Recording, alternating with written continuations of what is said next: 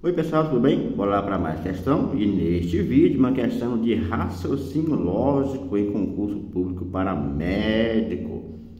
Bora lá pessoal, aqui ó, concurso 2018 para médico. Peço a vocês que por gentileza né, se inscrevam aí, siga a gente, dúvidas, deixa aí nos comentários, beleza? Bora lá.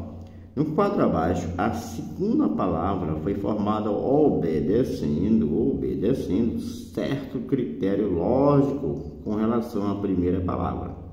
Que que está o X da questão? Considerando-se o mesmo critério de formação para todas as segundas palavras, a alternativa em que esse mesmo critério foi utilizado. Bora analisar aqui as palavras. A primeira palavra, segunda palavra. Primeira palavra, farofa. Formou né, uma segunda, faro. Bocado, primeira, formou uma outra palavra, boca. Levado, a primeira formou uma outra, leva. Parado, formou para. Tá?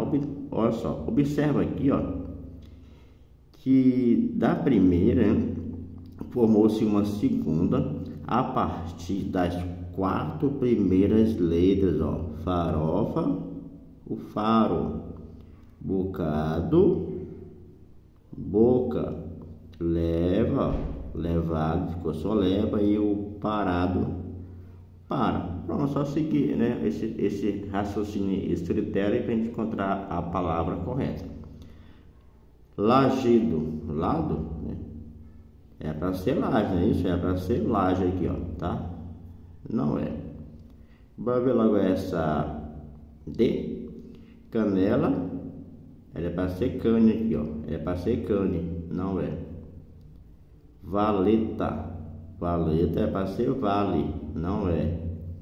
Mimosa. Mimosa, para quem mimosa. Mimo, né? Isso, mimo, mimo. Ok. Pode aí marcar com certeza que 2 mais 2 é 4, que a certa aqui é a letra B, tá? Você que foi médico aí, é médico, não pode errar esse tipo de questão, né? Pelo amor de Deus. Forte abraço, pessoal.